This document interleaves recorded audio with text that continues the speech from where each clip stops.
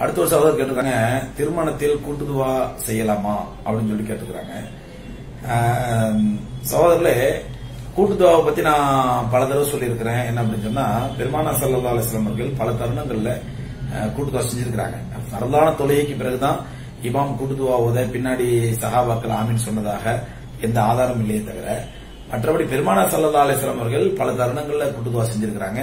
சஹாபாக்கள் அது ஆமீன்ல துவாக்கள்ல கலந்துருக்கிறாங்க. அதுக்கான நிறைய ஆதாரங்கள் ஹதீஸ்கள்ல வந்துருக்குது.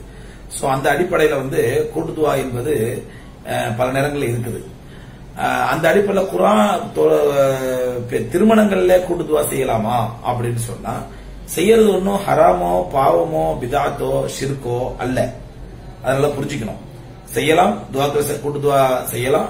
செய்யாமலும் இருக்கலாம். செஞ்சாகணும் கம்பல்சரி துவா செய்யாட்ட கணிக்காவே கூடாது. அப்படி எந்த மார்க்கம் கிடையாது சட்டம் கிடையாது.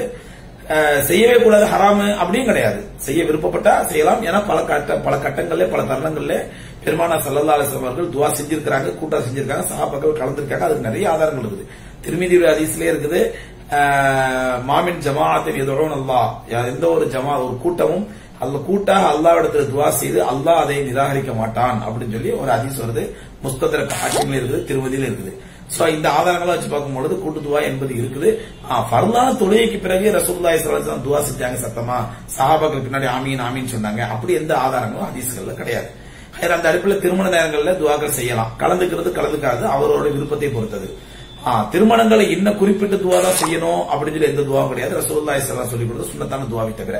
ரசோல்லா சொல்லி கொடுத்தாங்க ஒரு திருமணம் ஆகக்கூடிய மாப்பிள்ளை பெண்ணாக இருந்தால் பாரக் அல்லாஹு லக்குமா பாரக் அலைக்குமா ஜமா பைனக்குமா ஃபிஹைர் இதுக்கு அபுதாவதுலையும் மற்ற கிரந்தங்களையும் அதிக ஆதாரம் இருக்குது அல்லிப் கமா அல்லாஹ் அல்லாஹும் அல்லிப் பைனக்குமா கமா அல்லப் தபைனல் அம்பியா ஆதம் அலி இஸ்லாம் அவா இஸ்லாம் இப்ராஹிம் அலி இஸ்லாம் சாரா சஃபுரா இப்படி நபிமார்களே அவன் மனைமலை பேரை சொல்லி சொல்லி சொல்லி அவர்களை இணைத்து போட்டு இவர்கள் இணைப்பாயாக துவா செய்யறது எந்த குரான்ல கிடையாது ஹதீஸ்கள் கிடையாது சஹாபாக்கள் வாழ்க்கையில கிடையாது. கண்ணியத்திற்குரிய நம்முடைய இமாம்கள் இமாம் ஷாஃபி ரமத்தாலி அபானிஃப் ரமத்தாலி மாலிக் ரமத்தாலி அமது அம்பல் ரமத்தாலி போன்ற எந்த தாபி தாபியன்கள் தபா தாபியன்களோ அல்லது சலப்பு சாலிகள் ஹதீஸ்களையோ எங் யாருடைய நடைமுறையும் கிடையாது. இந்த துவா இந்த அல்லாஹ் அல்லி பைனகுமாங்கிற துவா யாரும் சொல்லித் தராது. இது வந்து ஒரு இது கட்ட- இதை ஓதித்தான் ஆகணும் அப்படின்னு நினைச்சா விதத்தாயிடும் இந்த துவா ஓதித்தான் ஆகணும் அப்படின்னு நினைச்சு ஓதுனா அந்த துவா ஓதுறது விதாத்தாயிடும் அது எந்த ஹதீஸ் ஆதாரம் கிடையாது. சலப்பு சாலிகள் எந்த ஆதாரமும் கிடையாது.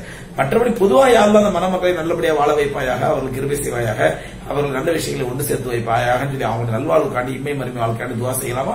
தாராளமாக துவா செய்யலாம். அதுல எந்த தவறும் கிடையாது. அல்லாவே மிக்க நன்றி.